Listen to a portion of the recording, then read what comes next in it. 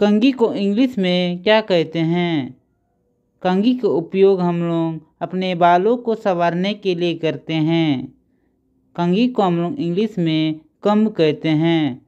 C O M B comb. तो चलिए इससे हम लोग सेंटेंस बनाते हैं। घर से निकलने से पहले मैंने अपने बालों में कंघी की। इसको आप इंग्लिश में बोलेंगे I combed my hair before I left home. चलिए दूसरा सेंटेंस बनाते हैं। प्रिया ने अपनी उंगलियों से अपने बालों में कंघी की। इसको आप इंग्लिश में बोलेंगे, Priya combed her hair with her fingers आप अगर जानते हैं आईना को इंग्लिश में क्या कहते हैं तो आप हमें कमेंट करके बताइए और उससे एक सेंटेंस बनाने की कोशिश करें। Thank you for watching.